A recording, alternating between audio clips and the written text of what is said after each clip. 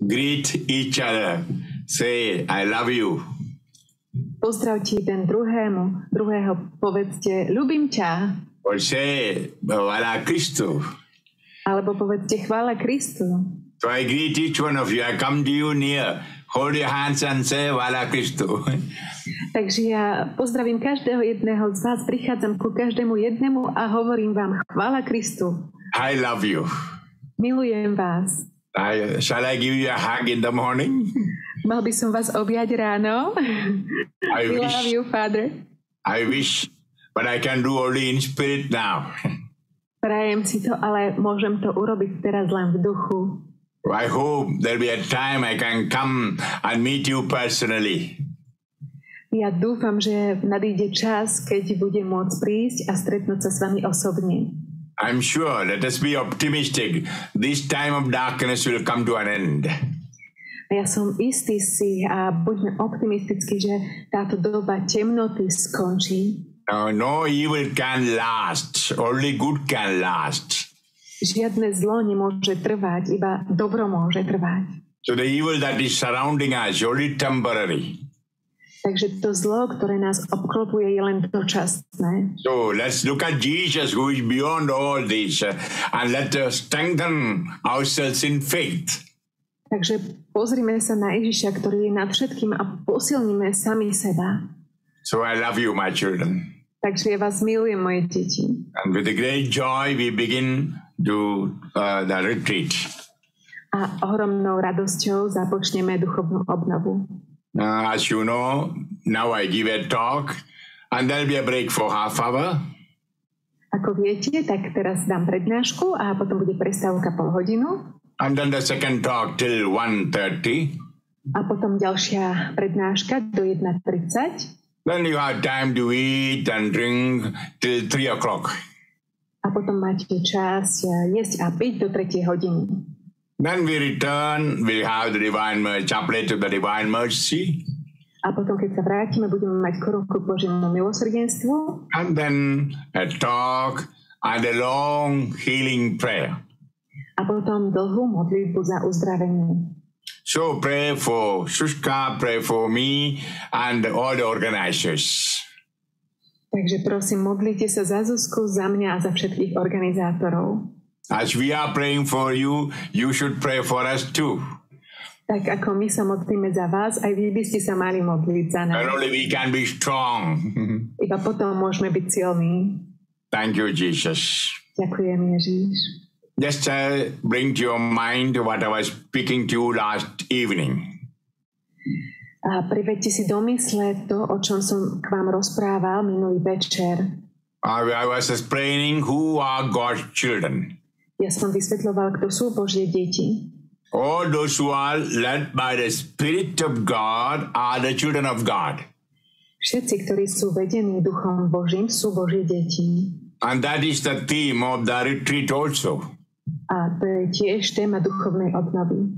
So if we look at the world, we can see uh, people who are God's children, people who are not God's children. Takže keď sa pozrieme na svet, môžeme vidieť deti, ktoré sú Božie deti a deti, ktoré nie sú Božie deti. And people who are able to call God Abba, Father, A, a ľudia, ktorí, sú, uh, ktorí môžu volať Boha Otec, Abba, Otecko, and people who are unable to call God Abba, Father.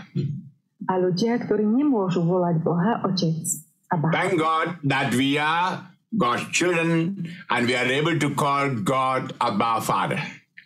Ďaká Bohu, my sme uh, Božie deti a my môžeme volať Boha Abba, Otecko. Also, through that Holy Spirit in us, we are able to go near to Jesus and say, You are my Lord.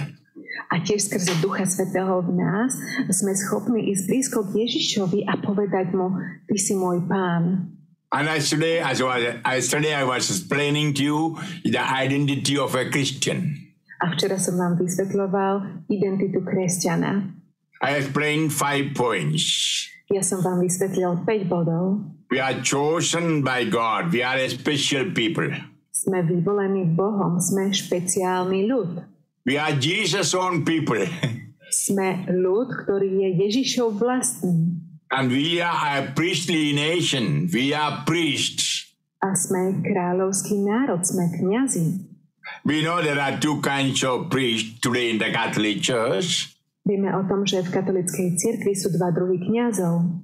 All those who are baptized are priests, Všetci tí, ktorí sú pokrstení, sú kňazi and they are called people of God, people who belong to God. a tí sa nazývajú Boží ľud, um, uh, ľudia Boha.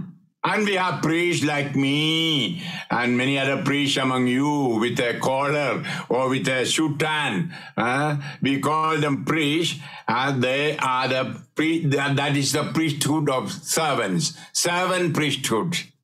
A potom uh, sú tu uh, kňazi služobníci, sú to ľudia ako ja a mnoho ďalších kňazov i vo vašich krajinách, ktorí nosia kolárik a, a majú kňažský odev. Yeah, the sign of all this is uniform to serve you, priest. Not simple priest, you are royal priest. Nie je to len taká hociaká uniforma, je to znak toho, že vám slúžime. Sme kráľovské kňažstvo. Yeah, this is told by Peter, the first pope. Áno, toto nás naučil Peter, prvý pápež. you are royal priest. Vy ste kráľovskí kňazi. Thank God, praise God for the title God has given you. Ďakuj Bohu, chváľ Boha za titul, ktorý dal. We are amidst you, we preach to serve you. My sme medzi vami, my kážeme uh, na to, aby sme vám slúžili. In other words, we are your servants. Inými slovami, sme vaši služobníci. Perhaps you know the official name of the Holy Father Pope, servant of the servants. Možno vieme oficiálne uh, meno pápeža svätého Otca. Je to služobník služobníkov. So also the bishops, priests who are ordained are your servants. Takže tiež pani biskupy a kňazi, ktorí sú ordinovaní, sú vaši služobníci. Now I'm here to serve you. A teraz ja som tu, aby som slúžil vám. And the third quality, we are a holy people. A tretia kvalita sme svetý národ. I explained to you yesterday that we all of us are called to be holy. Ako som vám včera vysvetlil, všetci sme povolaní k tomu, aby sme boli svetí. Yeah, we are washed and cleansed by the blood of Christ. Áno, sme umytí a očistení Kristovou krvou. And every day in the Holy Mass, we eat His body, drink His blood, and thus we are in union with Jesus. A každý deň my pijeme jeho krv a jeme jeho telo počas Svetej Omše a tak sme v jednote s Ježišom. And number four, we are God's own people. A po štvrté, sme um, o, vlastný ľud Boha. You know that word, God's own people, Jesus' own people. A poznáme tieto slova, je to sme ľud a, samotného Ježíša, Ježíšovi vlastný. That means we have a blood relation with Jesus, and we all are related by blood, blood of Christ. A to znamená, že máme pokrvný vzťah s Ježišom a všetci sme vykúpení Ježišovou krvou.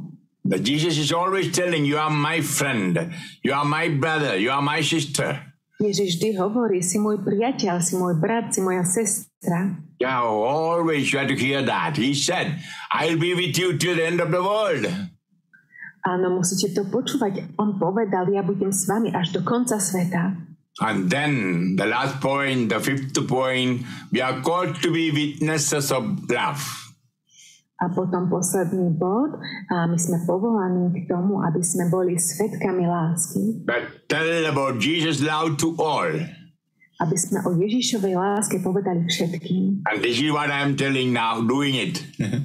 A to je to, čo ja práve teraz robím. so every. Christian, every Christian should live these five points in life. Takže každý kresťan, každý kresťan by týchto 5 bodov v živote mal žiť. And thus live a different life. Ale mnohí žijeme iný život.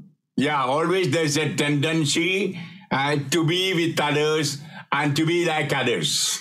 Áno, vždy máme tendenciu byť inými a byť ako iní. To belong to the world and belong to people who do not believe in God. A patriť svetu a prináležiť eh, k ľuďom, ktorí neveria v Boha. I must know that is the work of the Satan's. A musíte vedieť, že to je práca Satana. Satan never likes that we belong to Jesus. Satan never likes that we are holy. Satan nikdy nemá rád, keď prináležíme Ježišovi. Satan nemá rád, keď sme svetí. So he'll bring temptations uh, and inspirations to break the commandments and to commit sin. Takže on priniesie pokušenia a inšpirácie, aby sme porušili prikázania a hrešili. He knows if we break the commandments and commit sin, we belong to him, not to Jesus. Vie, že keď s- eh, porušíme prikázania a spáchame hriech, nepatríme jemu, ale satanovi. Yeah, Bible very clearly says, uh, he who sin belongs to Satan. Áno, Biblia veľmi jasne hovorí, ten, ktorý hreší, prináleží satanovi. 1 John 3 8. 1. Janov 3.8 All those who attended my retreat know these words, I'm sure. Všetci, kto- ktorí sa zúčastnili mojej obnovy, poznajú tieto slova, som si istý. You know, it's a very hard word. Viete, sú to veľmi ťažké slova. When I heard it first time, I was shocked. Keď som to prvýkrát počul, bol som šokovaný. I really read it in the Holy Spirit only after two years of my priesthood. Ja som skutočne pochopil Ducha Svetého iba potom, ako som bol dva roky kňaž, kňazom. That he who sin does not belong to Jesus, but belong to Satan. Že ten, ktorý hreší, neprináleží Ježišovi, ale patrí satanovi. Yes, many Catholics, many Christians don't know this. Áno, možno katolíkom eh, mnoho eh, kresťanov toto nepozná. You know, the time I heard it, I was in sin. Viete, v tej dobe, keď som o tom počul, bol som v hriechu. I simply cried. Jednoducho som plakal. I had a lot of unforgiveness in my heart, V mojom srdci som mal veľa neodpustenia, immoral thoughts and immoral attractions. Nemorálnych myšlienok a nemorálnych atrakcií, Even bad habits of smoking cigarette. dokonca zlozvyky ako fajčenie cigariet. Suddenly, the Holy Spirit showed all my sins. A náhle mi Duch Svetý ukázal všetky moje hriechy. Then I knew that I don't belong to Jesus. I'm not worthy to belong to Jesus. A potom som vedel, že nepatrím Ježišovi, nie som hoden Ježišovi patriť. I knew that Jesus is holy. If only I'm holy, I can belong to Him. Vedel som, že Ježiš je svetý, iba ak budem svetý, môžem patriť jemu. Then I knew He's a merciful God. He would forgive me. Ale vedel som, že on je milosrdný Boh, že by mi odpustil. Then the Holy Spirit helped me to go to a priest and make a good confession. A potom mi Duch Svetý pomohol, aby som išiel ku kniazovi, aby som sa dobre vyspovedal. Then again, I received the Holy Spirit. I belong to Jesus. A potom som opäť získal Ducha Svetého a patril som Ježišovi. Yeah, that's what I read yesterday from 1 John chapter 3 verse 9. Áno, to je to, čo som včera čítal uh, z 1. Janovho, kapitola 3, verš 9. When we are led by the Holy Spirit, we are God's children. Keď sme vedení Duchom Svetým, sme Božie deti. And when we are led by Satan or evil spirit, uh, we belong to Satan. A keď sme vedení Satanom alebo zlým duchom, tak prináležíme Satanovi. Then John says very clearly, we become children of Satan. A potom uh, Ježíš veľmi jasne hovorí, staneme sa uh, deťmi Satana. He says this is the way to distinguish between children of God and children of Satan. Toto je um, to, ako môžeme rozlišovať medzi Božími deťmi a deťmi Satana. So, my children, I'm not frightening you. I'm not speaking something very hard. I'm speaking truth from the Bible. Takže moje deti, ja vás nechcem vystrašiť, nechcem hovoriť niečo veľmi tvrdé, ale ja hovorím pravdu, hovorím slova z Biblie. It's not my word, but word of God. To nie moje slovo, je to Božie slovo.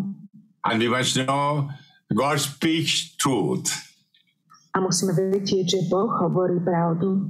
It is in the light of that truth we have to examine ourselves and live a good Christian life.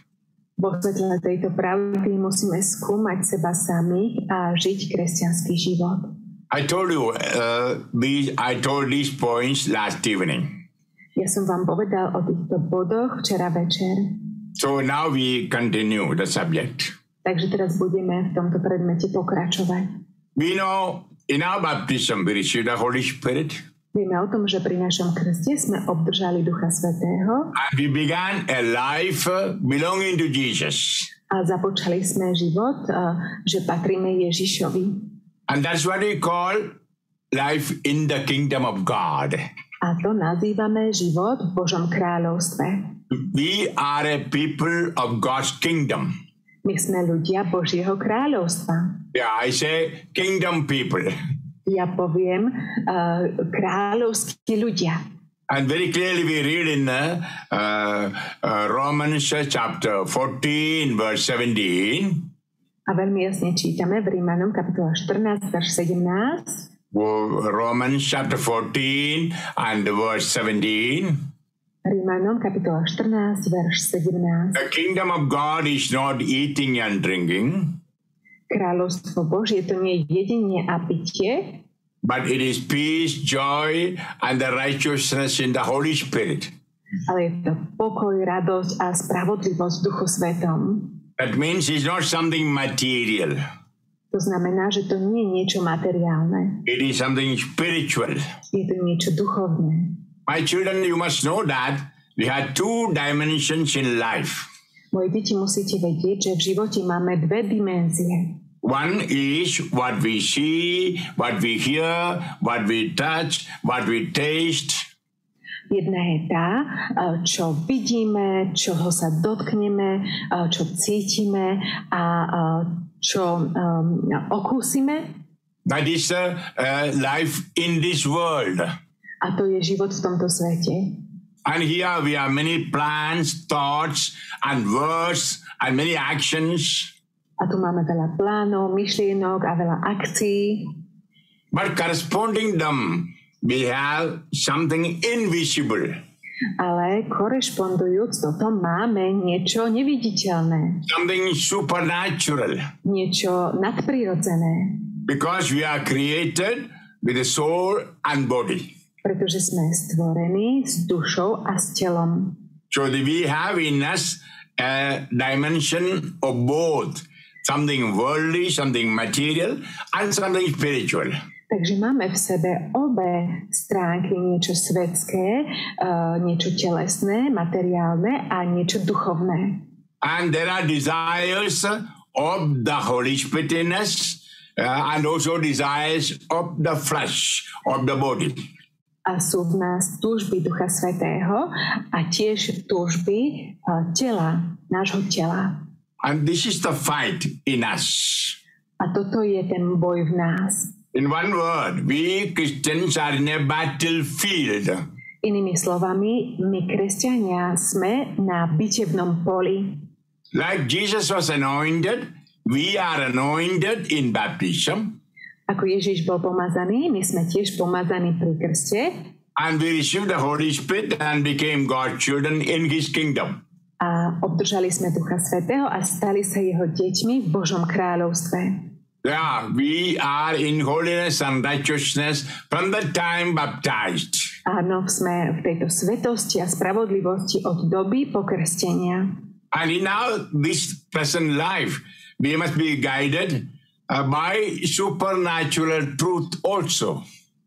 A v našom um, prítomnom živote musíme byť vedení nadprirodzenými pravdami tiež. One is, it is the Holy Spirit who is above us, who is supernatural, indivisible, and leading our life in goodness and in all righteousness.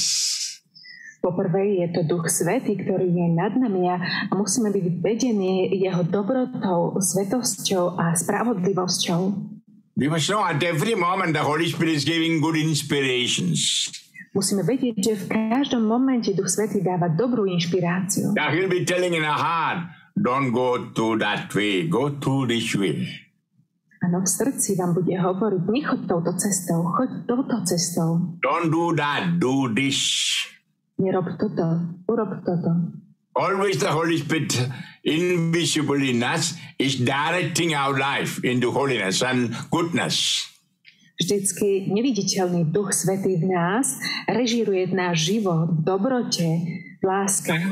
And also on the other side, there is the spirit of evil, spirit of Satan telling us not to do that. A taktiež na druhej strane je zlý duch, duch satana, ktorý nám hovorí, aby sme toto nerobili.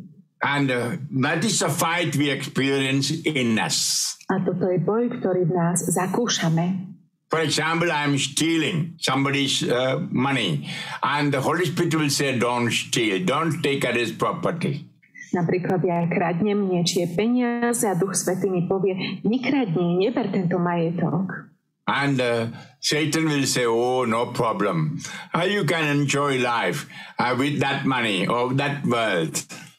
A Satan na druhej strane bude hovoriť o žiadny problém. Môžeš si užiť život s týmito peniazmi alebo s týmto majetkom. And give all encouragement to break the commandments and live an unholy life. A bude dávať všetko povzbudzovanie, aby sme um, zlomili prikázania a žili nesvetým životom. For my children, we must know there are two supernatural powers that can lead us.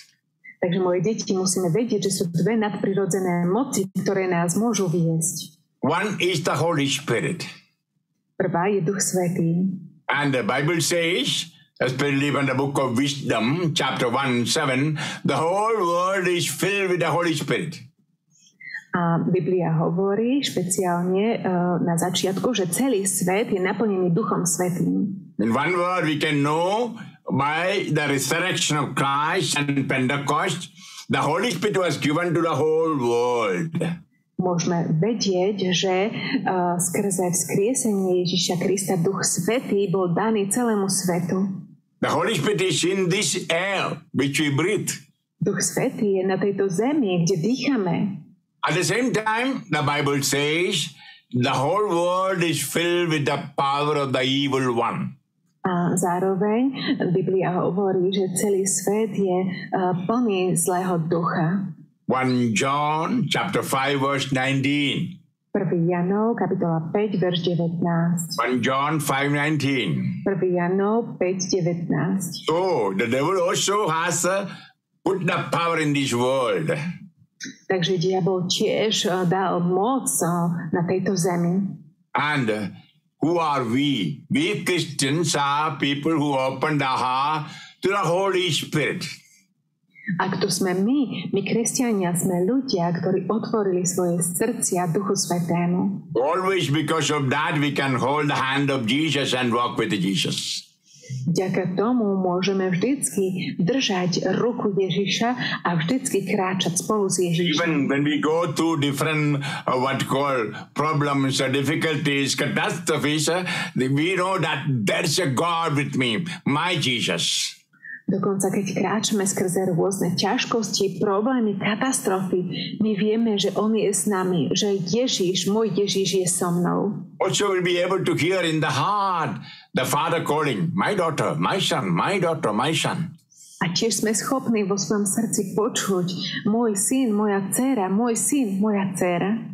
And if we are responding to that inspiration, uh, we will be strong in our soul. A keď odpovedáme tejto inšpirácii vo svojej duši, budeme silní. And then nothing, no evil can touch us.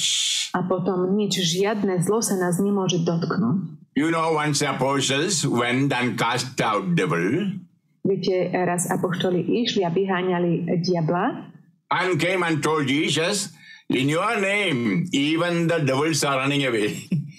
a povedali Ježišovi, v tvojom mene diabli ocha, o, utekajú preč. and then Jesus said, A potom Ježiš povedal, be strong, nothing will harm you. buďte silní, nič sa vám nemôže stať. Uh, the evil cannot touch a holy soul, one who is led by the Holy Spirit. Zlý duch sa nemôže dotknúť svetej duše toho, kto je vedený duchom svetým. Because the Holy Spirit is power. Pretože duch svetý je sila. A power that can cast out demon, a power that can resist the inspirations of devil. Sila, ktorá môže vyháňať démonov. Sila, ktorá môže odolať inšpirácii diabla. That's why Jesus said, when you receive the Holy Spirit, you shall be filled with the Holy Spirit, with the power. Preto Ježiš povedal, keď obdržíte Ducha Svetého, mali by ste byť naplnení Duchom Svetým. Ja, so silou. We know that Acts of the Apostles 1 8. Áno, vieme o tomto skutky Apoštolov, uh, uh, kapitola 1. So, my children, my dear Christians, you must know you are powerful people. Takže moje deti, moji drahí kresťania, musíte vedieť, že ste mocní ľudia. The tactics of Satan will not win over. We will be victorious. A tak satana nevyhrajú, my budeme víťazní. So remember this, that is life by the Holy Spirit. Takže pamätajte na toto, toto je život skrze Ducha Svetého. As I used to say in every retreat, there are two kings and there are two powers. Tak ako na každej obnove rozprávam, existujú dve kráľovstva a dve moci. Also two kingdoms. A tiež dve kráľovstva. We know Jesus is the King of Kings. Vieme o tom, že Ježiš je kráľ kráľov. And all those who believe in him and belong to him and receive the Holy Spirit are in the kingdom of God, the kingdom of Jesus. A všetci, ktorí mu uverili a sú ním vedení, uh, uh, sú v jeho kráľovstve, v kráľovstve Ježiša. And he's always led by the power of the Holy Spirit. A on je vždy vedený silou Ducha Svetého. And on the other side, Satan, Lucifer also is a king. A na druhej strane Satan, Lucifer je tiež kráľ. And he also has power A on tiež má moc, to attract people to his kingdom. aby pritiahol ľudí do jeho kráľovstva. But when a Christian lives by the Holy Spirit, uh, Satan cannot touch him or touch her. Ale, ale keď kresťan žije skrze Ducha Svetého, Satan sa nemôže dotknúť jeho alebo jej. This is the life Jesus brought. Toto je život, ktorý Ježiš priniesol. So we can see in the beginning of the church, in the first century, Takže môžeme vidieť pri počiatkoch církeve, pri prvom storočí, Christians had different names. kresťania mali rôzne mená. Num- one number one is uh, they were called disciples. A ako prvé, oni sa nazývali a, nasledovníci. And also people who lived on the way of Christ. A tiež ľudia, ktorí žili Kristovou cestou. Let's I open the Bible and read Otvorím Bibliu a budem čítať. We can read in Acts of the Apostles, chapter 9, verse 1 and 2. Budeme čítať v skutkoch Apoštoloch, verš, kapitola 9, verš 1 a 2. We know it is in that chapter we see the conversion of Paul, St. Eh, Paul. Vieme o tom, že toto je kapitola, kde vidíme obrátenie svätého Pavla. So I read Acts of the Apostles, chapter 9, 1 and 2. Takže budem čítať skutky Apoštolov, kapitola 9, verše 1 a 2. Now Saul, still breathing murderous threats against the disciples of the Lord, went to the high priest and asked him for letters to the synagogue in Damascus, that if he should find any man or woman who belong to the way, he must bring back to Jerusalem in chains. Pavel ešte stále dychtil po hrozbách a zabíjaní pánových učedníkov. Išiel teda k veľkňazovi a vyžiadal si od neho listy pre synagógy v Damašku, aby mohol stúpencov tejto cesty, mužov i ženy, ak tam dajakých nájde, v putách priviesť do Jeruzalema. Where we see two names of the Christians, one disciples. A tu vidíme dve, uh, dve, dve mená pre kresťanov. To prvé je stúpenci. Don't think it is about the 12 apostles. No. So those who were following Jesus are the disciples. Nemyslíte si, že je to o tých 12 učetníkoch. Nie je to o všetkých tých, ktorí nasledovali cesty Ježiša. To boli jeho stúpenci. And men and women who belong to the way. A muži i ženy, ktorí prináleželi k tejto ceste. Who is that way? What is that way? Jesus. Kto je tá cesta? Čo je tá cesta? Ježiš. Jesus said, I am the way and the life and the truth. Only through me you can come to my Father. Vieme o tom, že Ježiš povedal, ja som cesta a pravda a život, iba skrze mňa môžete prísť k môjmu Otcovi. So in the beginning of the church, people were living in the way of Jesus. Takže na začiatku cirkve ľudia žili um, v cestách Ježiša And other people recognized it. a iní uh, ľudia to rozlišovali. They knew that uh, they were following somebody, that is Jesus. A oni vedeli, že oni následujú niekoho, kým bol Ježiš. And following the rules and regulations, uh, style of life given by Jesus. A nasledovali pravidlá, regulácie, životný štýl, ktoré Ježiš dal. And they were disciples, that means uh, one who is following him. A boli to učedníci, nasledovníci, to znamená tí, čo ho nasledujú. And then we can see uh, they were called the brothers of the Lord. A potom môžeme vidieť, že sa nazývali bratmi pána. Yeah, we have several passages I am not going to explain. And the very beginning itself, uh, we hear in Acts of the Apostles, chapter 1, 14, Áno, je veľa pasáží, nebudem ich všetkých vysledovať. Na začiatku môžeme vidieť skutky Apoštolov, kapitola 1, verš 14.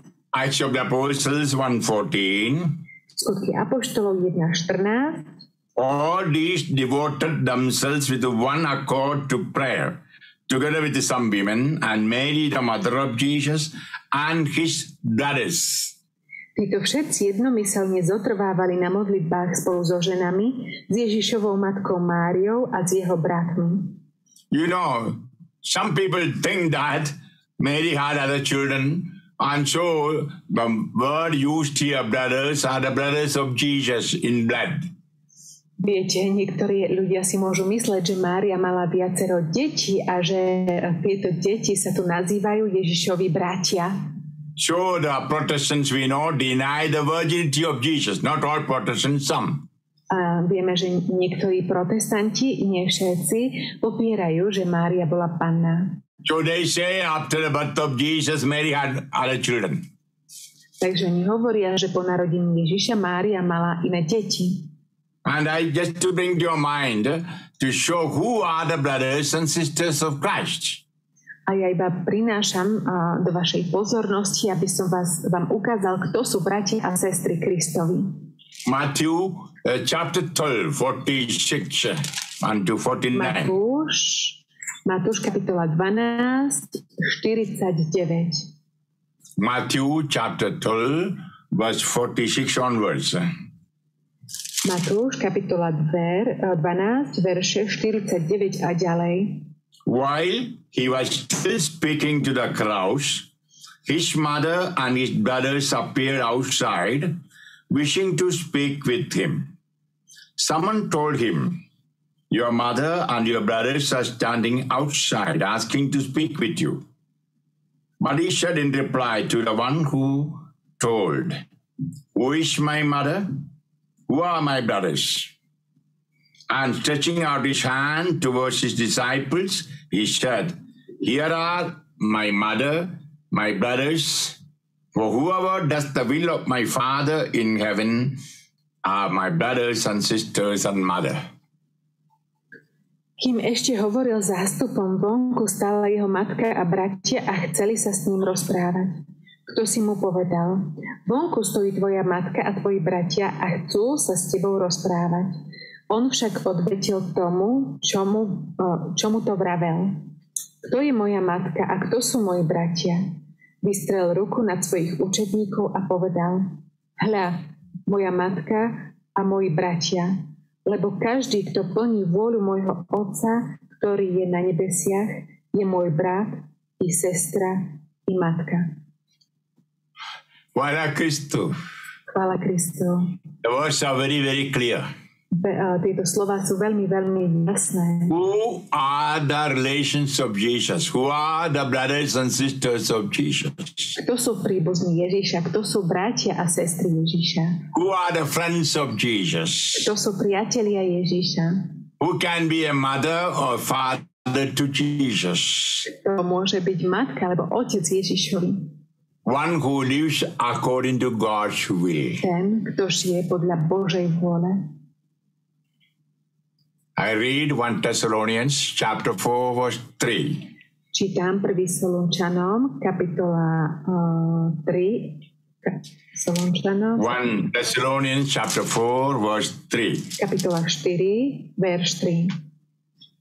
This is the will of God, your holiness. Refrain from all immorality. Lebo to je Božia vôľa, vaše posvetenie, aby ste sa zdržiavali. I'm sure this is in the heart of many who attended my retreat in the past. Som si istý, že toto je v srdciach mnohých, ktorí sa zúčastnili mojej obnovy minulosti. Several times I told, always you must keep that word in the mind. My uh, God's will for me is my holiness of life. Niekoľkokrát som vám povedal, že vždycky musíte mať na mysli tieto slova. Božia vôľa pre môj život je moja svetosť. Because God is holy, thrice holy. Pretože Boh je svetý, Kristus je svetý. And when I follow him, when I am his disciple, uh, I become his brothers, sisters. A keď ho budem nasledovať, keď sa stanem Kristovým následovníkom, stanem sa eh, Kristovou sestrou, Kristovým bratom. So, in one word, we can say all the Christians are the blood relations of Jesus. Takže inými slovami môžeme povedať, že všetci kresťania sú pokrvní príbuzní Ježiša. Like a priest, we know. Priests leave the home, parents, brothers, sisters, and go to a parish or go to a mission area and work for the people. A tak ako kňaz vieme o tom, že opustí svojho otca, svoju matku a ide do svojej farnosti alebo do misie a slúži Božiemu ľudu. And the people whom he is serving is uh, uh, the brothers and sisters and children. A tí ľudia, ktorým slúži, to sú bratia a sestry a deti. For example, you know, I'm an Indian. I come from India. Ako viete, napríklad ja som z Indie, pochádzam z Indie. I left my home when I became priest. I left my parents. Opustil som môj domov a stal som sa kňazom, opustil som mojich rodičov. Of course, my parents died now, but my brothers are still alive. My sisters are alive. Samozrejme, moji rodičia už zomreli, ale moji súrodenci sú naživo, moje sestry sú nažive. And I left them. A ja som ich opustil. Now I'm with you in Slovakia or in Czech Republic. A teraz som s vami na Slovensku alebo v Českej republike. Why? You are my brothers, my sisters, my children. That's why I call you often my children. Prečo? Pretože vy ste moji bratia, moje sestry, moje deti, preto vás často volám moje deti. This is what your priest is. To je to, čo je váš kňaz. Yeah, when they become priests, they make the vow to God to belong to Jesus and to the people of God. Áno, keď sa a stane kňazom, tak učiní sľub uh, uh, Bohu a bude slúžiť Bohu. Even there, natural tendency, natural, what you call it, urge to get married and to have children, he renounces for the sake of the people. A túto prírodzenú tendenciu, že sa uh, zosobášia, že bude mať deti a ženu, opustí uh, pre dobro druhých ľudí. That's why the Catholic priests make the vow of celibacy. Preto katolický kňaz urobí sľub celibátu. And if he marries, his heart will be divided for the wife and children. Ale uh, keby sa zosobášil, tak jeho srdce by bolo rozdelené uh, medzi ženu a deti. And if he celibate, fully given to Jesus and to his people. Ale skrze celý bát sa plne dáva Ježišovi a jeho ľuďom. That's why we call a priest other Christ.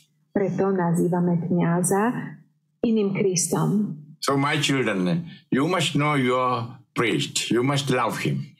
Takže moje deti musíte poznať svojim kňa, svojich kňazov, o kňazov musíte ich milovať. At least stop criticizing and speaking all bad about priests and bishops, please. Ich už nekritizujte a nehovorte zlé veci o biskupoch a o kňazoch, prosím. You know, you are married people, when you have some problem, you can speak with your wife, your children, or with your husband. Viete o tom, vy ste zosobášení ľudia, keď máte nejaké problémy, môžete sa porozprávať s vašim manželom, s vašou ženou alebo s vašimi deťmi. Look at your priest alone in a room, in a house, nobody to talk with, nobody to share from the heart. Pozrite sa na svojho kniaza, ktorý je sám v jednej miestnosti a nemá nikoho, s ktorým by sa porozprával alebo zdieľal svoje srdce. That's why you must love him, go to him, speak with him, maybe share his problem. A preto musíte ísť za ním, musíte ho milovať, musíte sa s ním zhovárať o jeho problémoch možno. So I'm speaking about our Christian life, my children. Takže hovorím o kresťanskom živote mojich detí. We should be brothers and sisters of Jesus. Mali sme byť Ježišovými bratmi a sestrami. And uh, this is a, a term used in the Holy Bible. We are brothers and sisters of Jesus and also among ourselves. Toto je termín, ktorý používa Biblia. Sme a, bratia a sestry jeden medzi druhými a tiež medzi a, ostatnými. And you know, Jesus lived with the mother for 30 years and left the mother home and went to public life. A viete o tom, že Ježiš 30 rokov žil so svojou matkou, potom opustil matku a, a žil verejným životom. And then only he told the people who are my mother or father, brothers or sisters. A až potom povedal ľuďom, kto sú jeho bratia, kto sú jeho sestry alebo matka. So we are disciples and we belong to Jesus the way.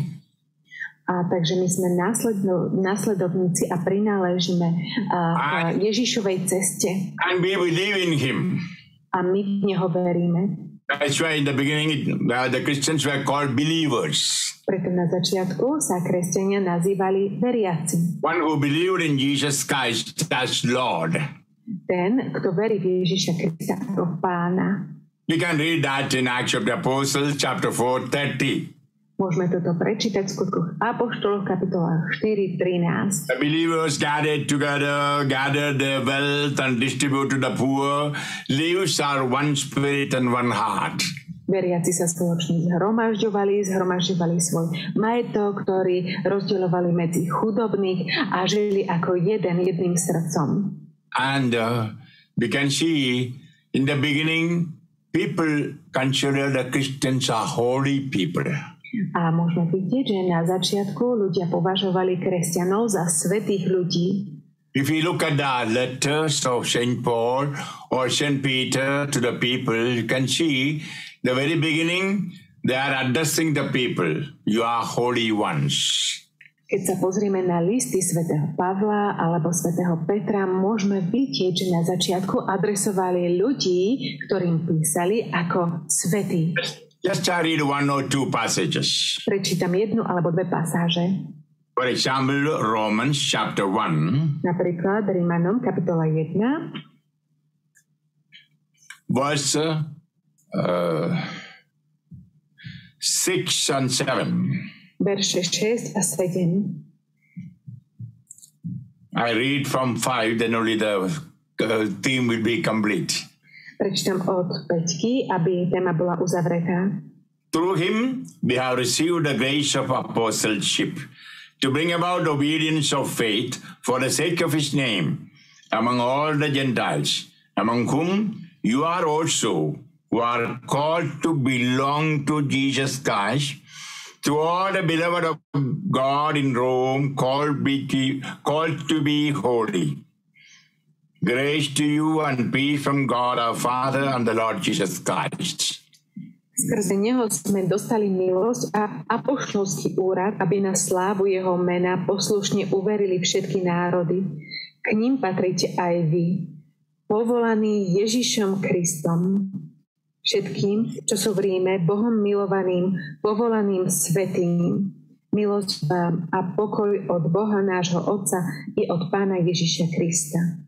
See, Paul was writing to the holy ones, holy people in uh, Rome. Vidíte, Pavol písal svetým, svetým ľuďom v Ríme. Also very clear, 1 Corinthians chapter 1 verse 2. O, o, tiež veľmi jasne, 1 Korintianom, kapitola 1, verš 2. 1 Corinthians chapter 1 verse 2. 1 Korintianom, kapitola 1, verš 2. to the church of God that is in Corinth, to you who are being sanctified in Christ Jesus, called to be holy. With all those everywhere to call upon the name of our Lord Jesus Christ, their Lord and ours. Božej církvi v Korinte, posveteným v Kristovi Ježišovi, povolaným svetým, aj všetkým, čo vyznávajú meno nášho pána Ježiša Krista na každom mieste, u nich aj u nás. See, again we see uh, the Christians in Corinth, the Paul was writing. Tu opäť vidíme, že kresťanov v Korinte uh, svätý Pavol písal, You who are called to be holy, you are sanctified by Jesus Christ. Vy, ktorí ste boli povolaní byť svetými, ste posvetení Ježišovi Kristovi. And uh, in Ephesians chapter 1 verse 4, A Efezanom, kapitola 1, verš 4, the Lord says, uh, You and I are called to be holy from the beginning. on hovorí, že vy a ja sme povolaní byť v ňom svety od počiatku. Ephesians chapter 1 4. Efezanom, a kapitola 1, 4. He chose us in him before the foundation of the world to be holy and without blemish before him. Veď v ňom si stále ešte pred stvorením sveta vyvolil, aby sme boli pred jeho tvárou svetí a nepoškvrnení v láske. Hallelujah. Halleluja. Hallelujah. Halleluja. From the foundation of the world, my God. Od stvorenia sveta Bohom. We were not living that time. My sme v tej dobe nežili. That means when God created the whole universe, you and I were in his mind and plan. To znamená, keď Boh stvoril celý svet, tak vy a ja sme boli v jeho mysli, v jeho pláne. Very difficult to understand. We need really the uh, inner eyes open to understand this mystery. Je to veľmi zložité tomu porozumieť. Skutočne potrebujeme vnútorné oči, aby sme tomuto tajomstvu porozumeli. Yeah, the greatest love of God. Áno, najúžasnejšia Božia láska. From the beginning, He chose us in Christ to be holy. Od počiatku nás povolal v Kristovi, aby sme boli svetí. Yeah, an ordinary person cannot understand, I know. Áno, obyčajná osoba to nie je schopná porozumieť, viem. But as we know that God loved us from the time we were conceived in the mother's womb, Možno vieme, že Boh nás miloval od doby, keď sme boli počatí v loni našej matky. And we all think our beginning was at the conception, a všetci si myslíme, že náš začiatok bol pri našom počatí. it is true physic- physically, Áno, je to pravda fyzicky, but much before that, that means from the time of creation, uh, we were alive in the mind of God.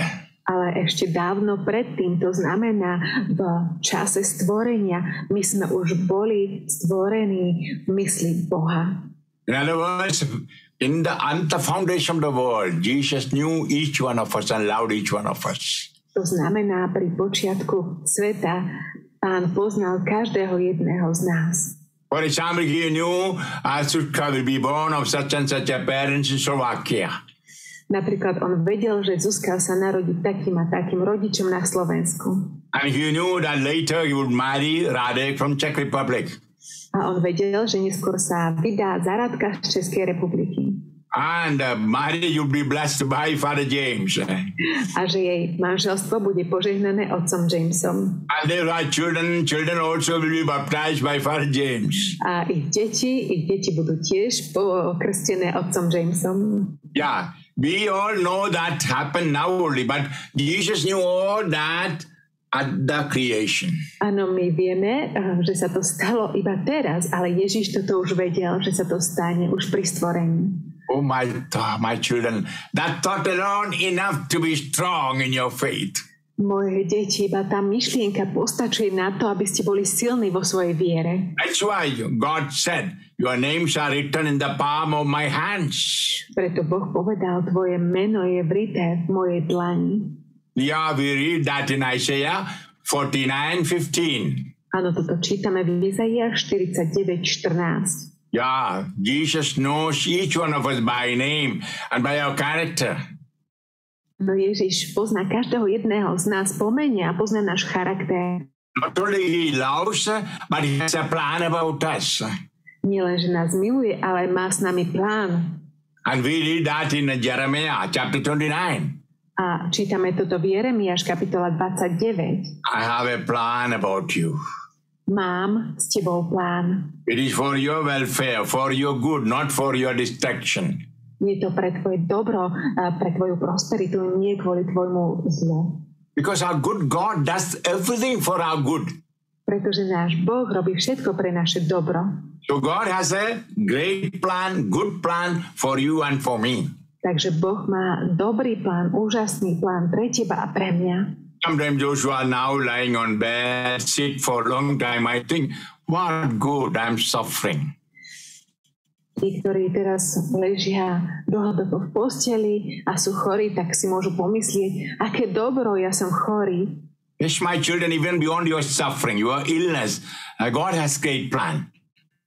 Áno, moje deti, dokonca aj pri, vašom utrpení, pri vašej chorobe, Boh má úžasný plán. And with your mind, you are thinking of getting up and walking and be smart and healthy, young as before. A vo svojej mysle, mysli myslíte na to, že chcete byť zdraví, chcete kráčať a byť múdri a, a byť, byť zdraví. That is your desire, that is your hope, that is your plan about you. But God has a different plan. To je vaša túžba, to je vaša nádej, uh, to je to, čo vy chcete, ale Boh má iný plán. Yeah, for example, uh, a lady in France by name Martha Roban. Napríklad žena vo Francúzsku, ktorá má Ja. meno Marta Rovan And she was suffering for 51 years on bed. a ona uh, niesla utrpenie 51 rokov na posteli. She was not eating any food or drink, only the Holy Eucharist. Ona uh, nejedla žiadne jedlo alebo nepila žiadny nápoj, iba svetú Eucharistiu. And we have such stories of many saints in our church. A je mnoho príbehov mnohých svetých našej cirkvi. Yeah, suffering, suffering. Áno, utrpenie, utrpenie. But as people, onlookers must have been telling him, oh, poor man, a poor woman suffering. A možno sa ľudia dívajú, o chudák, on trpí, on trpí. But God's plan was to sanctify them in heaven as saints. Ale Boží plán bol posvetiť ich ako svetých v nebi. My children, each moment of your suffering, you are sanctified. Your people in your home are sanctified. Or people somewhere in the world are sanctified. Moje deti, každú chvíľu vášho utrpenia ste vy posvedcovaní, alebo ľudia vo vašich domovoch sú posvedcovaní, alebo ľudia vo svete sú posvedcovaní. I speak about later, but I'm anticipating because I see some people looking at me saying, Father, I'm sick, I'm sick, pray for me. Ja o tomto budem pokračovať neskôr, ale uh, cítim, že to chcem s vami zdieľať, pretože niektorí ľudia sa uh, cítim, že na mňa pozerajú a hovoria, oči, ja som chorý, ja som chorý. Yes, I'm with you, I'm praying for you, uh, but for God's will for you. Áno, ja som s vami, modlím sa za vami, ale verím v Božiu vôľu pre vás. You look at me, I'm on my wheelchair now. You cannot see the chair. Pozrite sa, ja som teraz na vozíku, nemôžete tento vozík vidieť. You know, 10 years now, I'm on wheelchair. Viete, už je to 10 rokov, teraz som na vozíku. All wondered that I get up and walk. A všetci pokladali ako keby nejaký zázrak eh, by mal nastať, you že ja sa postavím a budem kráčať. Many of you are praying for that. Áno, viem, že mnohí z vás sa za to modlia. And when you see my physical suffering, you feel pity for me. A keď uvidíte moje fyzické utrpenie, budete uh, veľmi taký súcit cítiť so mnou. You may be praying that uh, I may be without any pain, any suffering. Modlili by ste sa, aby som bol bez akejkoľvek bolesti, akéhokoľvek utrpenia. But perhaps you may not understand. God has another plan which you don't know, I don't know. Ale možno nemusíte rozumieť tomu, že Boh má iný plán, o ktorom vy neviete, o ktorom ja neviem. You know, I was in coma. Viete, že som bol v kome And also, you know, later I was with the ventilator for uh, now four months. a viete, neskôr som bol na ventilátore 4 mesiace I was unable to talk, unable to move my hands. Nemohol som rozprávať, nemohol som hýbať svojimi rukami. I'm sure some of you, at least Radek and Sushka, know how slowly, slowly I came to this stage. Viem, že mnohí z vás viete, aspoň Zuzka a Radek, že ako veľmi pomaly a pomaly som sa dostal do tohto štádia. When I look at God, His plan was to make me a preacher and do His work, not my health. A keď sa dívam na Boha, jeho plán bol, aby som mňa učinil kazateľa, uh, a, a aby som uh, kázal evanelium a nedíval sa na moje zdravie. His plan is not that I be healed of all this, no, that I be healed in my soul and preach the gospel. Jeho plán nie je, aby som bol uzdravený a stal som. Nie, jeho plán nie je, aby som bol uzdravený na duši a hlásal evangelium. I'm happy I'm able to preach the word of God in spite of my pain or despite my disability. Ja som šťastný, že môžem hlásať Božie slovo aj napriek mojej bolesti, napriek mojej nedostatočnosti. So I rejoice in the Lord. Takže ja sa radujem pánovi. You can never see me depressed. Nikdy ma neuvidíte v depresii. So I'm in the plan of God. Jesus loves me. God loves me. Ja som v pláne Božom. Ježiš ma miluje, Boh ma miluje. And all that you will read in my book, I show eternity. A toto sa dočíte, dočítate v mojej knihe Videl som väčnosť. I'm sure some of you will have it, if not buy it. A som si istý, že mnohí z vás ju majú, pokiaľ nie, tak kúpte si ju. That's why we need to open our inner eyes, inner heart. Preto potrebujeme otvoriť naše vnútorné oči, naše vnútorné srdce. Ephesians chapter 1, verse 18 uh, to uh, 23. Efezanom, kapitola 1, 12, 13. It's a long sentence, maybe one of the longest sentences in the Holy Bible. Je to dlhá veta, možno jedna z najdlhších vied v Biblii. And I read from 17. A budem čítať od 17. You know, it is written by Paul. Viete, že tu napísal Pavol. The God of our Lord Jesus Christ, the Father of glory, may give you a spirit of wisdom and revelation, resulting in knowledge of Him. Nech vám Boh, nášho Pána Ježiša Krista, Otec slávy, dá ducha múdrosti a zjavenia, aby ste ho poznali. So St. Paul was praying for us that we may have the wisdom and knowledge and to know God more. Takže svätý Pavol sa za nás modlil, aby sme mohli mať múdrosť a, zjavenia, aby sme mohli Boha viacej poznať. And listen the following sentences very carefully. A veľmi dôsledne počúvajme ďalšie vety. May the eyes of your hearts be enlightened, that you may know what is the hope that belongs to his call. What are the riches of glory in his inheritance among holy ones? And what is the surpassing greatness of his power for us who believe, in accordance with the exercise of his great might, which he worked in Christ Jesus, raising him from the dead, seating him at the right hand in heaven, far above every principality, authority, power, and dominion, and every name that is named, not only in this age, but also in the one to come. And he put all things beneath his feet, gave him as head over all things to the church, which is his body, the fullness of the one who fills all things in every way. Nech osvieti oči vášho srdca, aby ste vedeli, aká je nádej z jeho povolania, aké bohatstvo slávy je z jeho dedičstva vo svety a aká nesmierne veľká je jeho moc pre nás veriacich podľa pôsobenia jeho mocnej sily, ktorú dokázal na Kristovi, keď ho vzkriesil z mŕtvych a v nebi posadil po svojej pravici nad každé kniežatstvo, mocnosť, silu a pánstvo a nad každé iné meno, ktoré možno vysloviť nielen v tomto veku, ale aj v budúcom. Všetko mu položil pod nohy a jeho ustanovil nad všetkým za hlavu církvy, ktorá je jeho telom, plnosťou toho, ktorý naplňa všetko vo všetkom. This is the wisdom you and I should have. Toto je múdrosť, ktorú vy a ja by sme mali mať. For that, our inner eyes should be opened.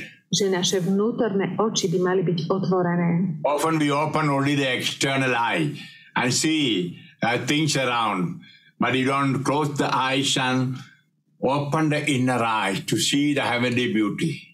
Niekedy otvárame len naše vonkajšie oči, ale zabudáme otvoriť naše vnútorné oči a zatvoriť naše vonkajšie oči, aby sme videli tú vnútornú krásu.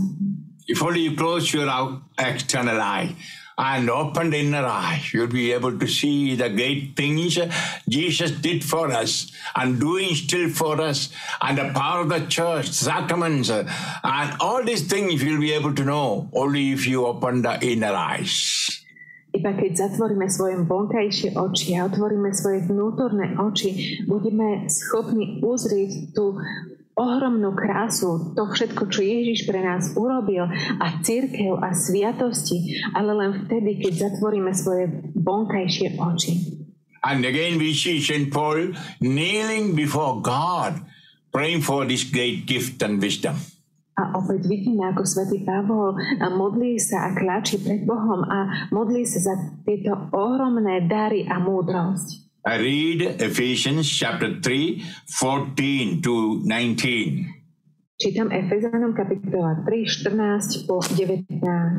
Ephesians chapter 3, 14 to 19. Efezanom kapitola 3, 14 až 19. For this reason I kneel before the Father, from whom every family in heaven and on earth is named, that he may grant you in accordance with the riches of his glory to be strengthened with power through the Holy Spirit in the inner self, and that Christ may dwell in your hearts through the faith, that you rooted, grounded in love, may have the strength to comprehend with all the holy ones what is the breadth, length, and height and depth, and to know the love of Christ that surpasses knowledge, so that you may be filled with all the fullness of God.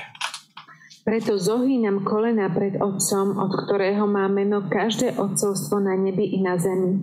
Nech vám dá podľa bohatstva svojej slávy, aby skrze jeho ducha mocne zosilnil váš vnútorný človek, aby Kristus skrze vieru prebýval vo vašich srdciach, aby ste zakorenení a upevnení v láske mohli so všetkými svetými pochopiť, aká je to šírka, dĺžka, výška a hĺbka a poznať aj Kristovú lásku, presahujúcu každé poznanie, aby vás naplnila Božia plnosť celá.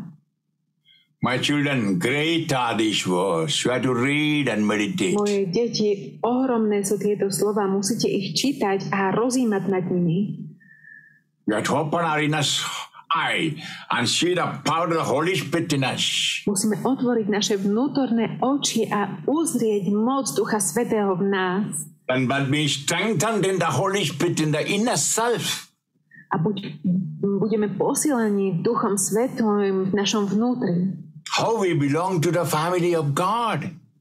Ako prináležíme do Božej rodiny. We know in Christianity alone, God is a family, Father, Son, and the Holy Spirit. Vieme o tom, že v samotnom kresťanstve je Boh rodinou, je to Otec, Syn a Duch Svetý. And that's a model for all the families in the world.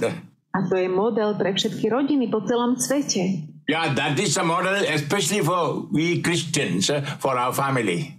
Áno, to je model zvlášť pre nás, kresťanov, pre naše rodiny. Yeah, all the fathers, you must know grace, power flowing to you. You to be a good father, good husband from God the Father. Áno, vy muži, otcovia musíte vedieť, že všetká milosť uh, prúdi k vám skrze Ducha Svetého, skrze Otca, skrze Boha Otca.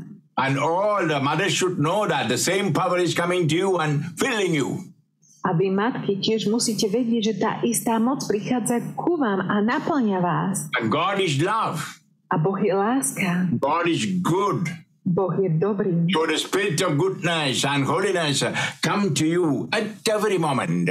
Takže duch dobra a dobroty musí prichádzať ku vám v každom jednom momente. All we need is to open our heart. Všetko, čo potrebujeme, je otvoriť naše srdce. Yeah, we should know our interiority. Mali by sme um, poznať tieto dôvernosti. That's what we call prayer. We have to raise our heart in prayer. A je to modlitba. Musíme pozdvihnúť naše srdce v modlitbe. And then you will know the depth, the length, the height, and the breadth of the love of God. A potom budeme poznať hĺbku, výšku, šírku Božieho milosrdenstva. And then we will know that God does everything for our good. A potom budeme vedieť, že Boh robí všetko pre naše dobro. That's why all of you perhaps know the word Romans chapter 8 to 28. A preto mnoho z vás iste pozná slovo Rímanom, kapitola 8, 28. Romans chapter 8 to 28. Rímanom, kapitola 8, 28. We know that all things work for good for those who love God, who are called according to his purpose. Vieme, že tým, čo milujú Boha, všetko slúži na dobré. Tým, čo sú povolaní podľa jeho rozhodnutia. Hallelujah. Haleluja. I'm sure you know this word by heart. Som si istý, že toto slovo poznáte na spameť. Look at that. We know that all things work for good for those who love God and those who are called according to his purpose. Pozrieme sa na to. Vieme, že tým, čo milujú Boha, všetko slúži na dobre, tým, čo sú povolaní podľa jeho rozhodnutia. He works everything for good for those who love him. On činí všetko dobré pre tých, ktorí ho milujú. And those who are called by him. A tí, čo sú ním povolaní. They are the Christians. That is, we are. To sú kresťania, to sme my. We are called, I already explained. We are separated and we are belonging to Christ Jesus and the church. Sme povolaní, už som vám to vysvetlil, sme oddelení, aby sme žili Kristovi Ježišovi. So be sure God does good for us. Takže buďte si istí, že Boh pre nás robí dobré. And to those who love Him. A pre tých, čo ho milujú. Ah, here we have to ask ourselves, do we really love Him? A tu sa musíme opýtať seba sami, skutočne ho milujeme? According to the teachings of Christ, uh, to love God is not saying with the lips, Jesus, I love you, Jesus, I love you. A podľa slova um, um, milovať Boha neznamená, že našimi perami hovoríme Ježiš, ja ťa milujem, Ježiš, ja ťa milujem. It is something more, my children. Je to niečo viac, moje deti. We read in John chapter 14, verse 15. Čítame Ján 14, 15. John chapter 14, verse 15. Ján, kapitola 14, verš 15. 14, sorry, 14, 15. Kapitola 14, verš 15. If you love me, you will keep my commandments. Ak ma milujete, budete zachovávať moje prikázania. You to write down that in your heart, my children. Toto si musíte zapísať do svojho srdca, moje deti. Then ask ourselves, do we love him? A potom sa opýtajme sami seba, milujeme ho? Are we keeping the commandments of God? Then only we can say we love him. Iba pokiaľ dodržiavame Božie prikázania, môžeme povedať, že ho milujeme. And if we read in John chapter 15, the following chapter, keď čítame v Jánovi, kapitola 15, nasledujúca kapitola, verse 10. verš 10. If you keep my commandments, you will remain in my love. Yes, as I have kept my Father's command and remain in his love. Ak budete zachovávať moje prikázania, ostanete v mojej láske, ako ja zachovávam prikázania svojho Otca a ostávam v jeho láske. You know, ever since Jesus came to the world, he was always obedient to the Father's command. Vieme o tom, že odkedy Ježiš prišiel na svet, tak vždycky dodržiaval prikázania svojho Otca. And a very great moment in his life we see in Gethsemane. A ten ohromný moment v jeho živote vidíme v Getsemanoch. It was so difficult for him to think as a man and take up the sins of mankind with all consequences. Bolo pre neho tak zložité prijať uh, myslou muža, uh, že príjme všetky hriechy ľudstva You must so know, všetkými týmito následkami. Jesus was carrying the sins of you and me and all those who live till now and all those who will be living in the future. Musíte vedieť, že Ježiš niesol hriechy všetkých, ktorí žili uh, pred nami, ktorí žijú teraz a tých, ktorí budú žiť v budúcnosti. Imagine the weight of sin he was asked to carry on his body. Len si predstavte tú váhu hriechu, uh, ktorú bol povolaný niesť na svojom tele. That is symbolized in the cross. You are carrying our sins and walking up to Calvary. That's why he fell down several times. To je uh, symbol kríža, keď niesol kríž na Kalvári a niekoľkokrát padol. And uh, God the Father wanted him to carry the sins of mankind. A Boh Otec chcel, aby niesol hriechy ľudstva. And then identify himself as a sinner. A potom, aby sa identifikoval sám ako hriešník. We have a beautiful Bible word, difficult to comprehend. One, Second Corinthians chapter 5, 21. Máme nádherný verš v Biblii, veľmi ťažko sa dá pochopiť 1. Korintianom, Chapter 5, verse 21. kapitola 5, verš 21. For our sake, he made him to be sin who did not know sin, so that we might become the righteousness of God in him. Father, please repeat the verse for me. 1 Corinthians chapter 5, I don't have verse 21. Se- Second Corinthians chapter 5, 21. Okay, second, I'm sorry, I had one. 5, 21, okay. Toho, ktorý nepoznal hriech, za nás urobil hriechom, aby sme sa v ňom stali Božou spravodlivosťou. Just think that uh, Jesus did not know sin. He never committed sin. Len si to predstavte, Ježiš nikdy nepoznal hriech, nikdy hriech nespáchal. Jesus, uh, the Jews accused Jesus of many things, but could never point out a single sin in him. Židia obvinili Ježiša z mnohých vecí, ale nikdy ho nemohli obviniť z jediného hriechu. That's why when he was talking with the Jews, he challenged and asked, uh, Can any one of you find sin in me? A preto, keď sa rozprával so Židmi, tak ich vyzval a povedal im, je niekto z vás schopný nájsť vo mne hriech? And he was so innocent and meek Lamb of God who came to take away our sins. A bol tak nevinný baránok Boží, ktorý prišiel zobrať naše hriechy. And he had to become sin, not sinner, sin. A on sa musel stať hriechom, nie hriešnikom, ale hriechom.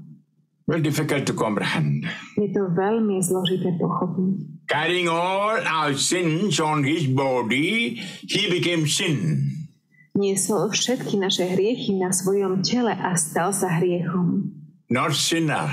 Nie hriešnikom. Never he was sinner. On nikdy nebol hriešnikom. It is like when we jump into a pool of dirt and we become dirty. Je to ako keď skočíme do bazéna špiny, tak sa staneme špinaví. Yeah, people around will say, dirty man, dirty man.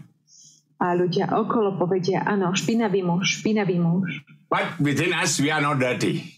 Ale vo vnútri nie sme špinaví. But I'm carrying the dirt.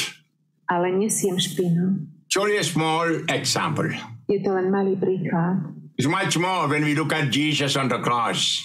A čo viac, keď sa pozrieme na Ježiša na kríži. Yeah, he was jumping into the pool of our sins. Áno, on skočil do bazéna našich hriechov. And we know all who looked at him said, Ah, he's suffering for his sin. A vieme, že každý, kto sa na neho díval, tak hovoril, áno, on trpí za svoje hriechy. You know, crucifixion was a punishment given only to criminals. Vieme o tom, že ukrižovanie bola dávaná uh, iba kriminálnikom I looked at him as a criminal. a dívali sa na ňo ako na kriminálnika. And even I say, God the Father looked at him as a criminal, as a sin. A um, dokonca um, bolo ponímané, že Boh, Otec sa tak na neho díva ako na kriminálnika, ako na You know, on the cross, Jesus said, Father, have you forsaken me? Vieme o tom, e, že dokonca na kríži sa Ježiš opýtal, Otec, opustil si ma. The only Son of God in his intense suffering, asking, Father, have you forgotten me? Jediný Boží syn vo svojom vnútornom utrpení sa opýtal, Oče, prečo si ma opustil? Do you think he was a cruel father to see the suffering of Christ? Myslíte si, že on bol krutý otec, keď sa díval na utrpenia Kristove? No, he was always in the bosom of the Father. Nie, on uh, vždycky držal uh, to otcovstvo. But he never abandoned Jesus, never. Len nikdy Ježiša neodpustil. But Nikdy. when he looked at him, he was carrying the sins of mankind. Ale keď sa na ňo díval, tak niesol hriechy ľudstva. And all good and holy God cannot accept a person in sin or with a sin.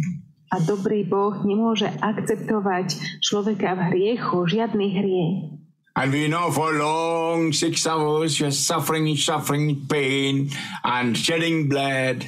A vieme o tom, že dlhých 6 hodín um, on trpel, trpel na kríži a vylieval svoju krv. You must know, don't look at Jesus as an individual person. In him, you and I and all mankind was there. Musíme vedieť, nedívajte sa na Ježiša ako na individuálnu osobu. V ňom vy a ja a celé ľudstvo sme tam boli. We know 2000 years ago, none of us were alive. Vieme o tom, že pred 2000 rokmi nikto z nás nebol nažive. But in his mind and body, we were alive. Ale v jeho mysli a v jeho tele my sme boli nažive. And in him, our sins were carried. A v ňom boli naše hriechy nesené. Here we see the greatness of the body of Christ. A tu vidíme tú úžasnosť Kristovho tela. Even before I was born, uh, even my parents never planned about me. Oh, my Jesus saw me and saw my weaknesses, my sin, carried them all in the body. Oh, what a great love. Dokonca predtým, než som sa narodil, dokonca predtým, než moji rodičia ma naplánovali, naplánovali, tak ja už som bol v Ježišovi. On poznal všetky moje slabosti, všetky moje hriechy a niesol ich. And we know the consequence of sin, death. Apost- wage of sin is death. A poznáme následok hriechu. Následok hriechu je smrť. So he was carrying that on his body. Takže to niesol na svojom tele. And uh, for nine six hours, suffering, suffering. A 6 hodín trpel, trpel. And after six hours, uh, he gave his spirit to God the Father. A po 6 hodinách dal svojho ducha Bohu Otcovi. Because in the body of Christ, God the Father saw you and me and the whole humanity cleansed and purified. Pretože v Kristovom tele Boh Otec videl, ako celé ľudstvo, uh, vy a ja sme očistení. And then you are acceptable to God the Father. A to bolo uh, akceptovateľné pre Boha Otca. So he said, In your hands, O Lord, I commend my spirit. Tak on povedal, do tvojich rúk, Oče, dávam svojho ducha. And stretching out the hands, I'm sure Father son into his bosom. A som si istý, že vystrúc svoje ruky, Boh Otec zobral svojho syna do svojho náručia. My children, not only that person, Jesus, you and I were being lifted up and received by the hands of the Father. Moje deti, nielen Ježíš, ale i vy, i ja sme boli pozdvihnutí a boli sme uh, obdržaní rukami uh, Boha Otca spolu s Ježišom. Yes, my children, 2000 years ago, all of us were washed and cleansed, glorified uh, by the death and passion of Christ, and we were given to the hands of God the Father. Áno, moje deti, pred 2000 rokmi, vy a ja, všetci sme boli očistení, umytí a uh, boli sme odovzdaní do rúk Boha Otca. That's why we say, by his wounds we are healed. Preto hovoríme, jeho ranami sme uzdravení. What kind of healing? Aké uzdravenie? Always we look at this little physical healing, a headache, maybe stomach pain, maybe a paralysis or a cancer. No, Vždycky sa dívame na tieto malé choroby, ako um, možno rakovina, alebo paralýzy, alebo nejaké bolesti žalúdka. If only we open our inner eyes, we can see the great illness of our soul. That is the sinfulness in us. Ale jedine pokiaľ otvoríme naše vnútorné oči, tak sme schopní uzrieť to nádherné uzdravenie našej duše, našu hriešnosť. Whereas many of our sins have a root or connection with the sin.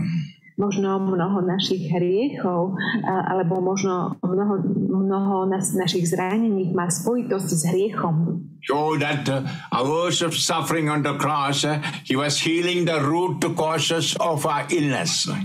Takže svojim dlhodobým utrpením na kríži on uh, liečil korene našich chorôb. Whereas by sin, we went away from God. Možno hriechom my sme odišli od Boha And we belong to Satan by our sin. a prináležali sme uh, satanovi našim hriechom. Oh, whereas by our sin, we wounded the heart of God. Alebo skrze náš hriech sme zranili Božie srdce. We know when St. Paul was living in sin, God, Jesus asked, Why do you persecute me?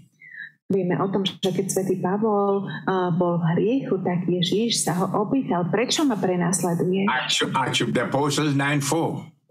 Skutky Apoštolov 9.4. Ah, uh, Paul was not piercing Jesus with the lance, no, but he was persecuting Christians. On, nie, on neprenasledoval Ježíša, on prenasledoval kresťanov. Maybe our sins of unforgiveness, uh, our uncharitable work, cha- uncharitable words and works. A možno to boli, um, um, bola, boli jeho hnev, neláska alebo jeho nedostatočná pomoc druhým. When I offend a Christian, I am offending my Jesus. Keď urážam kresťanov, tak urážam môjho Ježíša. And when I don't do good to a Christian, uh, I'm not giving uh, something good for my God, Jesus.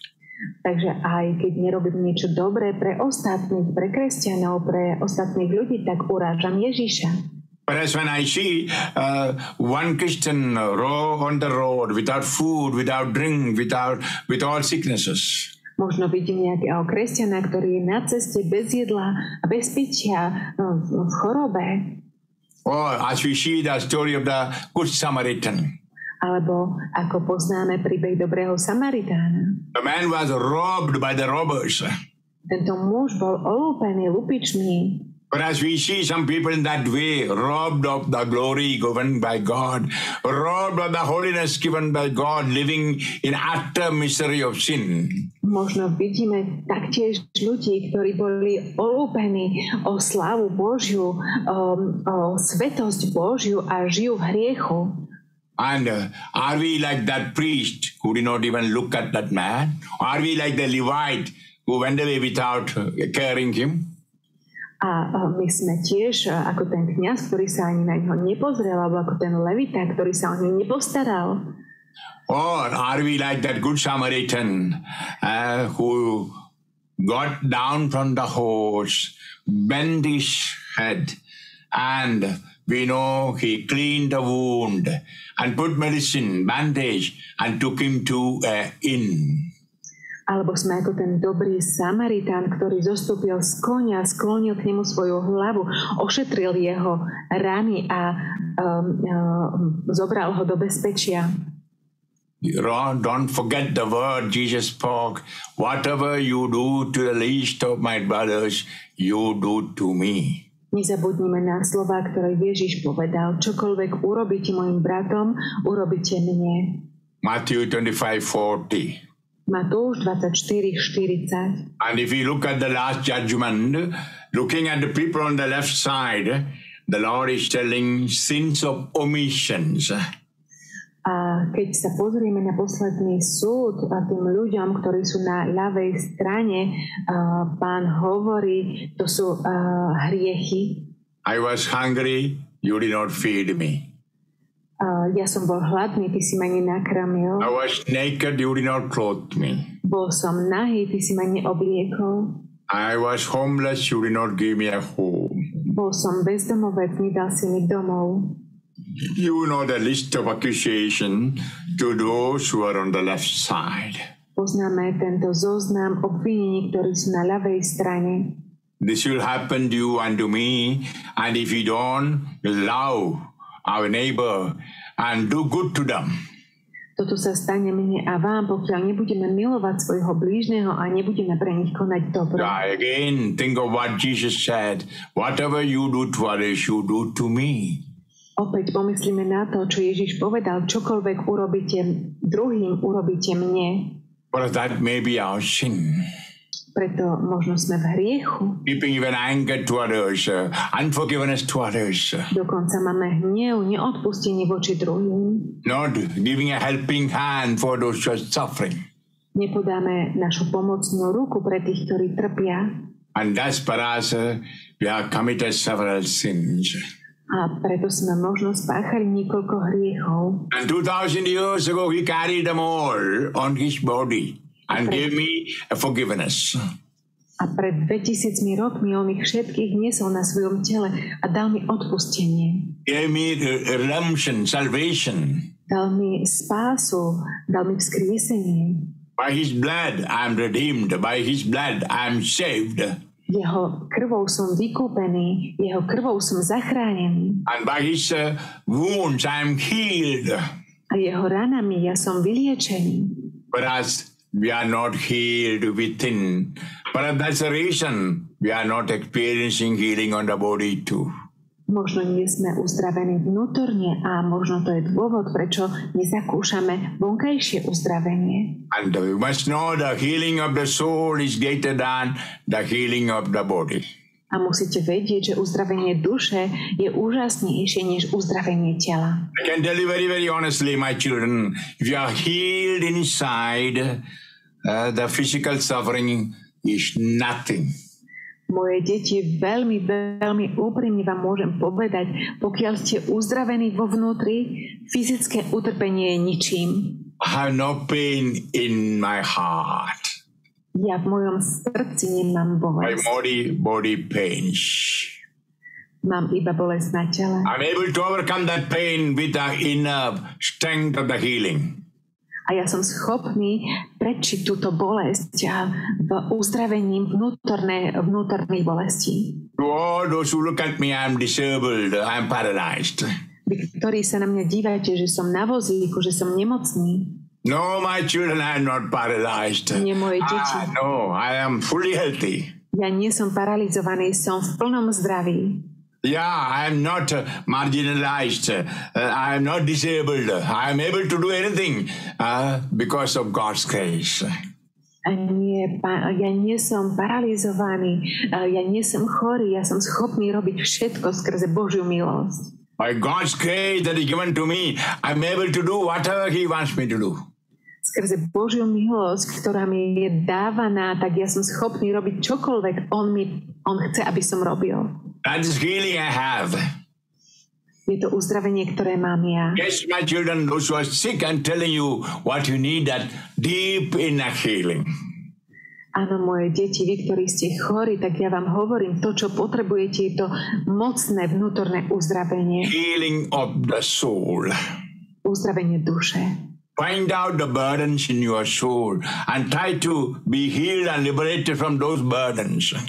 Nájdete obťaže vo svojej duši a snažte sa byť uzdravení z týchto obťaží.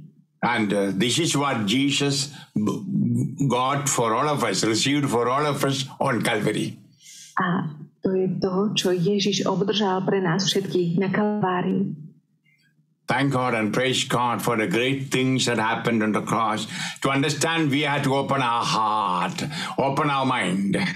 Ďakujeme Bohu a chválme Boha za toto skvelé slovo, aby sme mohli porozumieť, že musíme otvoriť naše srdce. Then we'll greatly understand that we are healed in Him. A potom, aby sme úžasne pochopili, že sme v ňom uzdravení. Whereas I don't experience it in my body. Možno to nezakúsim na mojom tele, but as my body is under bondage of some kind of sin or some circumstances of sins, možno moje telo je v nejakej zviazanosti uh, hriechu alebo s nejakými následkami hriechu. just imagine a man with a cancer Len si predstavte muža s rakovinou. was coming and telling me some time ago, Prišiel za mnou a pred nejakou dobou mi hovoril, I'm praying, I'm praying. I'm giving gift to poor people, helping the poor. Ja sa modlím a modlím a dávam um, uh, dáry chudobným, pomáham chudobným. I make confessions. Spovedám sa, I go to mass uh, as often as possible. chodím na svetú omšu, ako je to len možné. Why I'm not healed? Why cancer is not healed?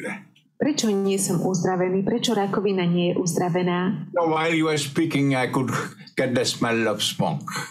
A keď on rozprával, ja som bol schopný ucítiť uh, vôňu cigariet. Then I asked, Do you smoke? Potom som sa opýtal, fajčíš? And he said, That is my strength. On povedal, to je moja sila. I take alcohol, that also is my strength. A ja tiež požívam alkohol, to je tiež moja sila. Then I said, You are finding strength and power in smoke, in alcohol. Whereas many other sins also are there on which you are finding strength. A ja som mu povedal, ty nachádzaš silu a moc vo fajčení a v alkohole a možno sú tam nejaké iné hriechy, v ktorých nachádzaš a, silu. I'm sure doctors have told you not to take alcohol, not to smoke, but you can't. There is some problem in your heart, in your soul. Som si istý, že doktori ti povedali, že nemôžeš a, piť a nemôžeš fajčiť, ale v svojom srdci máš a, nejaký problém, niečo sa tam deje. Nemôžeš prestať. I said to him very, very clearly, you know, I'm a man who speaks without any compromise. Ja som mu veľmi jasne povedal, ty vieš, že ja som muž, ktorý rozpráva bez akéhokoľvek kompromisu. Look in your heart and find out many other sins and occasions of sin. Pozri sa do svojho srdca a nájdi mnoho, mnoho ďalších hriechov a príležitostí k hriechu. I know you make confession often, but ask yourself whether you are repented, changed. ale ja viem, že sa aj často spovedáš, ale opýtaj sa sám seba, či si skutočne premenený, či činíš pokánie. He cried. On plakal. Pray for me, father, he said. Modlite sa za mňa, oče, povedal. I pray for him. Modlil som sa za ňo. And uh, after several months, he wrote to me an email with a testimony of his healing. A po niekoľkých mesiacoch mi napísal e-mail so svedectvom uzdravenia. And uh, the first part, the longest part of the testimony is his healing of the soul. A prvá časť, najdlhšia časť jeho svedectva je uzdravenie jeho duše. Many sins that were hidden, not remembered, Mnoho hriechov, ktoré, bolo, ktoré boli skryté alebo neboli zapamätané. many times made confession, but he was ashamed to say the sins to a priest. Alebo niekoľkokrát on urobil spoveď, ale hambil sa niektoré hriechy kniazovi povedať. And much more, he showed uh, his spite, his anger, unforgiveness to many people. Ba čo viac, on ukazoval svoj hnev, svoje neodpustenie mnohým ľuďom. And uh, uh, he found all this inner healing and liberation. A on našiel všetko vnútorné uzdravenie a oslobodenie. And the last sentence of his testimony is in my mind. A jeho posledná veta v jeho svedectve je v mojej mysli. Father James, still I have cancer on my body, but my soul has no cancer. Otec James, moje telo má stále rakovinu, ale moja duša rakovinu nemá. I'm healed 100%. Ja som 100% uzdravený.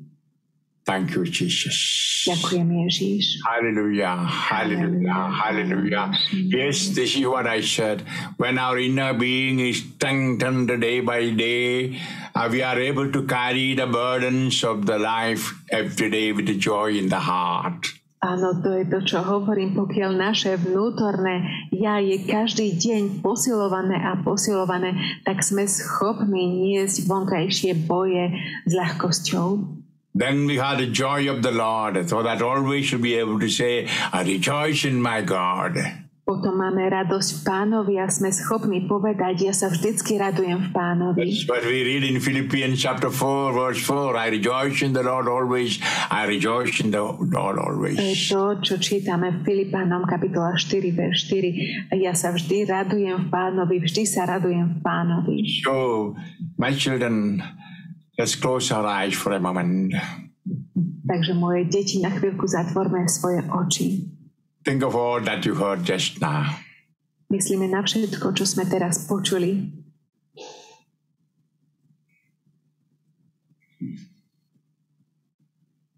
Think of the great love of God through Jesus Christ. Myslíme na ohromnú Božiu lásku skrze Ježiša Krista. God so loved the world that he gave his only Son to us so that by believing him we may be saved. Boh tak miloval svet, že dal svojho jediného syna, aby sme skrze neho mohli byť zachránení.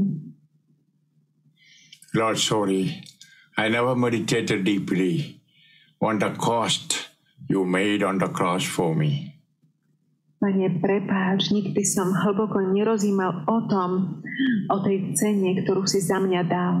The cost you suffered on your body for my body. Za cenu, ktorú Ty si trpel na svojom tele za moje telo. The cost of suffering in your soul for saving my soul. Za cenu, ktorú Ty si trpel vo svojej duši, aby si zachránil moju dušu. Now I understand I have not loved you. Teraz tomu rozumiem, milujem ťa. If I had loved you, I would have kept the commandments. Predtým som ťa nemiloval, keby som ťa miloval, dodržiaval by som prikázania. You kept the commandment of your father to suffer, take up the cross, and to go to Calvary. Ty si dodržiaval prikázania svojho otca, aby si trpel, aby si zobral na seba svoj kríž a išiel na Kalváriu. It was so hard that you prayed, if it is possible, let this chalice, chalice of suffering go away from me.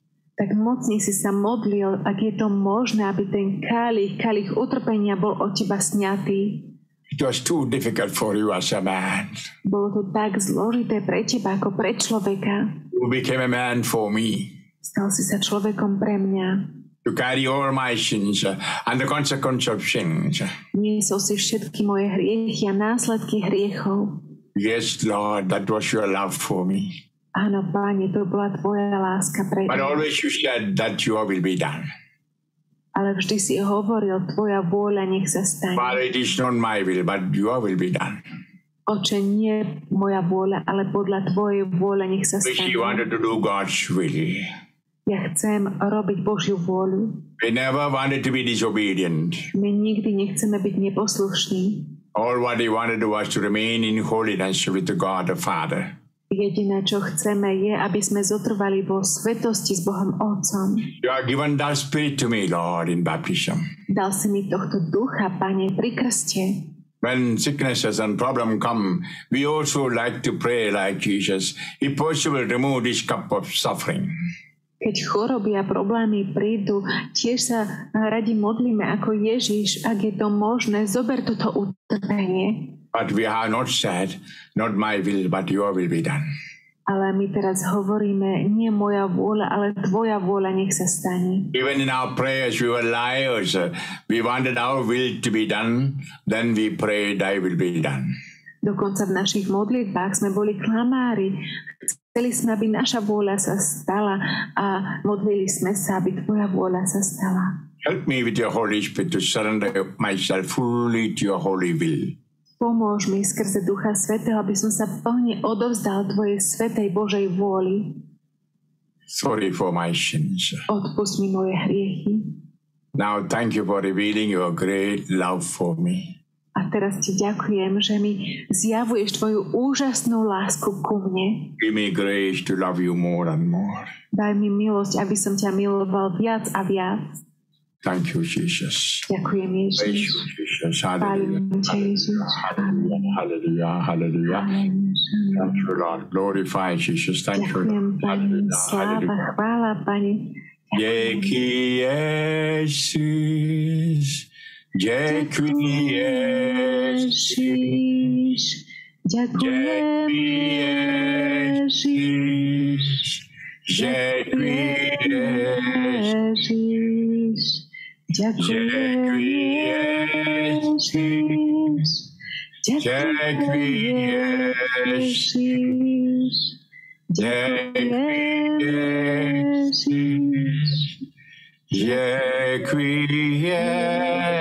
Ďakujem,